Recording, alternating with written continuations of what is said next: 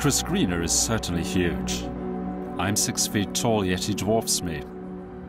His gigantism has occasionally caused him problems, and not all of them are due to his height. Back in 1971, I was having double vision, and uh, I had my eyes tested, they were perfectly okay. And my doctor said I wanted to go and see this guy at Barts Hospital. He looked at everything, and uh, I mean everything. And I thought, hang on a minute, the old one-eyed trouser snake can see perfectly well, mate. It's uh, the double vision's up here, pal. um, and he mentioned something about the pituitary gland, and I'd never heard of this. Didn't know what, what the hell was the pituitary gland, but no idea what it is. But it is his wayward pituitary that links him to another London giant, Charles Byrne, who lived nearly 200 years before Chris was born. Charles Byrne was born in 1761 in Ireland. His skeleton still hangs in the Royal College of Physicians and Surgeons in London, where he's known affectionately as Charlie. Charlie died at the age of 22. It's thought that he drank himself to death. But this skeleton isn't actually Charlie's.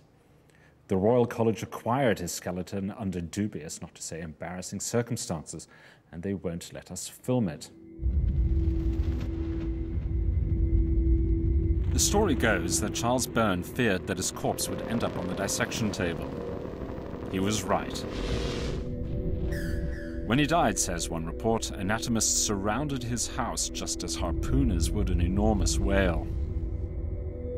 Those are his feet you can see dangling in the top right corner of this picture.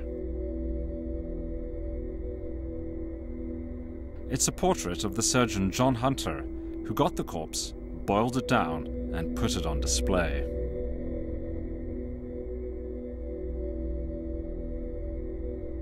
It was only much later that someone worked out why Charlie was so tall. In 1911, Sir Arthur Keith, then curator of his remains, sawed Charlie's skull in half and looked inside. He found that the cavity left by the pituitary gland, normally the size of a pea, was in Charlie's skull the size of a small tomato.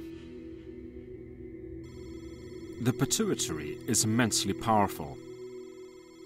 It secretes growth hormone into the bloodstream, which then sends a simple message to the body cells grow and divide. It is the multiplier of our flesh and bones. I was told I had over 200 times the amount of growth hormone, and the results of these growth hormone that was obviously made me grow.